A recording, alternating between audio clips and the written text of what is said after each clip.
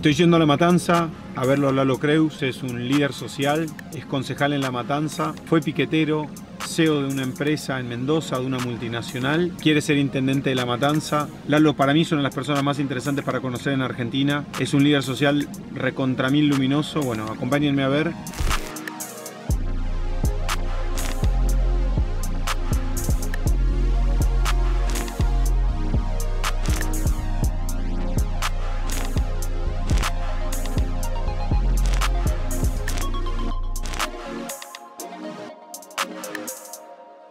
Con Lalo.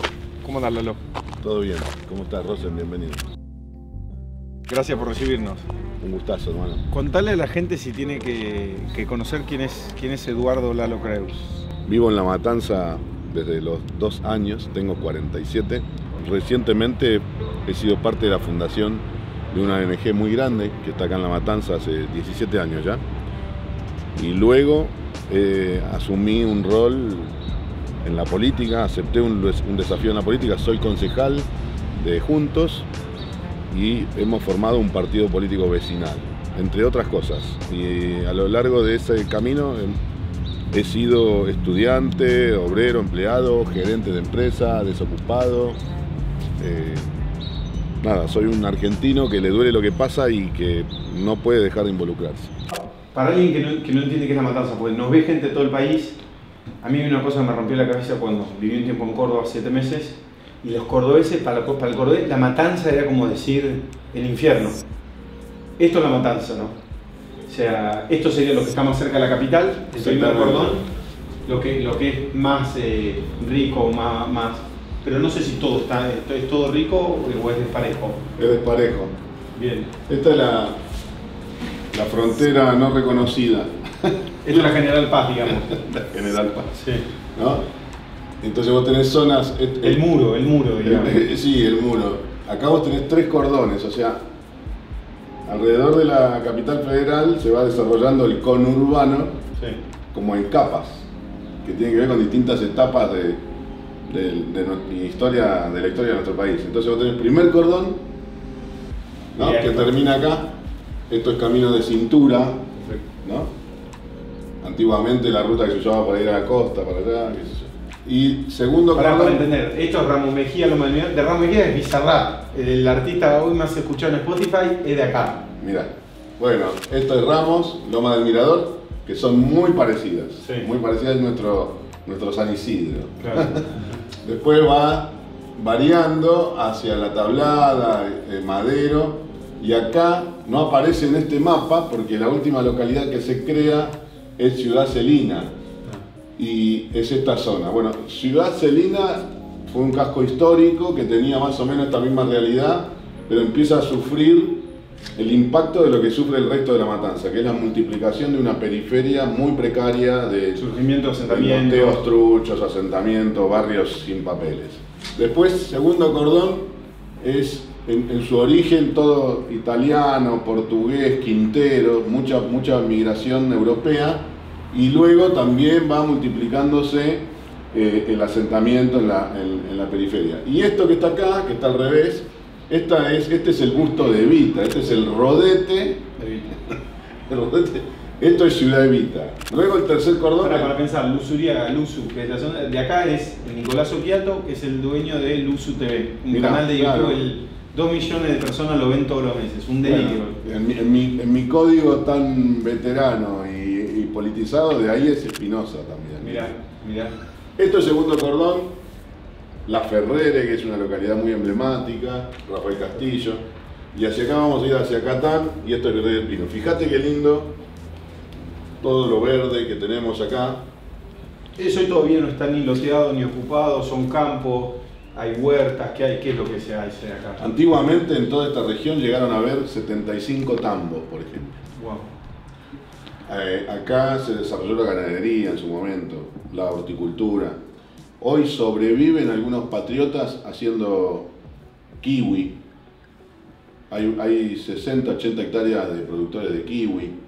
Hay gente que está haciendo frutilla. Hay so- eh, gente haciendo soja, gente haciendo maíz. Quedan criadores de cerdo.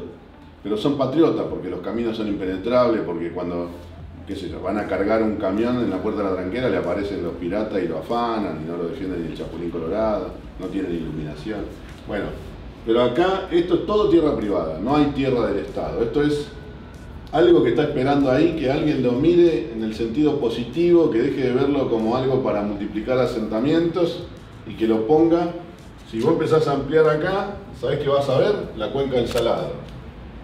¿Entendés, flaco? O sea, todos nuestros vecinos son municipios que tienen desarrollo agroindustrial. Todos nuestros vecinos están dentro de la cuenca del Salado. Acá estamos dentro de la cuenca del Salado. O sea, si dejamos de mirar hacia la capital federal Y empezamos a mirar. nos interior. damos vuelta y miramos hacia el interior productivo, vamos a ver que nosotros tenemos un privilegio, no una condena. O sea, La Matanza al tener los tres cordones es el único municipio que puede brindarle servicios a la ciudad y al interior productivo. Nosotros acá podríamos desarrollar clúster productivos, clúster de servicios, de logística. Y si querés me mambeo más, esta línea es el río Matanza. Hoy es una cloaca Sí. a cielo abierto, pero ha habido ríos mucho más contaminados que este que lo han logrado transformar en valor social, ¿no? Entonces, hay que pensar esto. Yo me conocí Tigre hace muchos años, muchos años, y era un lugar muy abandonado, narcotráfico, prostitución, contaminación, arroyos basurales. ¿Viste? Vas a Tigre hoy y decís, si no te cuento lo que te estoy contando y no lo viste, no lo crees. Bueno, la matanza tiene, ¿por qué no puede tener ese mismo desarrollo u otro?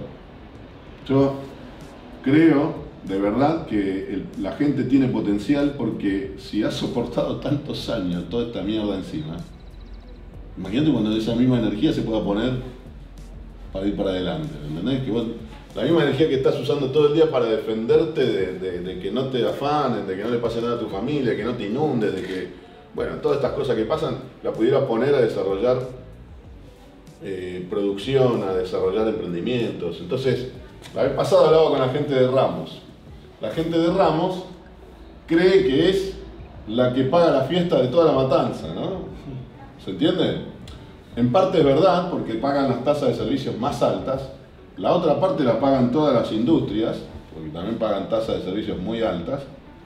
Y gran parte de la, matanza está en morocho, está en negro. No hay escritura, no hay, no hay habilitaciones, no hay, no hay contribuciones impositivas.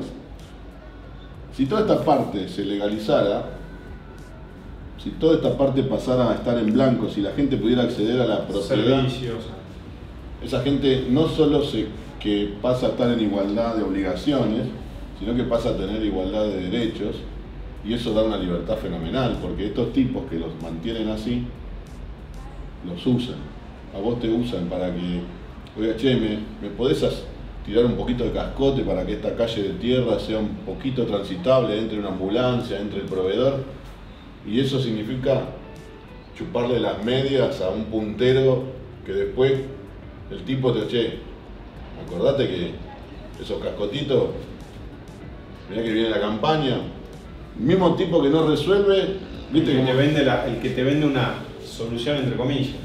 el que, como se escucha últimamente, el mismo que te rompe la pierna, después viene y te dice, che, te presto la muleta, ¿eh? No te olvides cuando vas a votar, es, es, es, es tremenda. Bueno, la propiedad privada es libertad, te lo digo yo, que vengo de, acordate de dónde vengo. Nosotros nos conocimos en el momento del conflicto con el campo, del gobierno de Cristina, el segundo gobierno de Cristina con el campo 2008, y vos venías de, la corriente clasista combativa, el movimiento piquetero y, el movimiento de trabajadores desocupados, y ahí como que rompiste con esa mirada. ¿Qué, fue lo que pasó? Contá un poco mejor tu, historia, digo, para alguien que no te conoce, ¿no? Digo, hay, mu- hay mucho de la etiqueta que se te pone esto de, de- de líder piquetero a CEO de una empresa o pero para mí son más mucho más interesante que eso. Pero contame el, fino de, qué fue lo que te fue pasando. ¿no? Claro, es muy, muy loco, es muy complejo, ¿no? Yo eh, vengo de una familia de la ortodoxia de la izquierda, digamos. Yo nací en una familia de la- donde estar charlando con vos era una era pro burgués, qué sé yo. y muchas pelotudeces esas. Este, y un pobre tipo, un kiosquero con un empleado era un explotador, ¿viste? ¿Me explico? Entonces, de allá De ahí venís. De allá. ¿Quieres dejar una idea de futuro? ¿Una mirada de futuro para la gente que nos mira? Sí, yo creo que estamos viviendo una época de cambio en el mundo, en Latinoamérica, en Argentina. Los cambios no, no son tan tranquilos como uno lo desearía, ni tan felices, son procesos que duelen, pero hemos tenido tanto dolor, ¿viste? Que, que haya una etapa donde aún permanezca el dolor, pero que sea eh, de evolución. O sea, Argentina eh, tiene un potencial enorme, no es un país rico, es un país con mucha riqueza que si, si, si realmente se puede ser administrado, dirigido por, por gente con compromiso con el bien común, pues puede ser potencia mundial de verdad. Entonces, yo tengo mucha expectativa. Yo, estoy seguro que, que, Argentina está en una etapa de, de reconstrucción.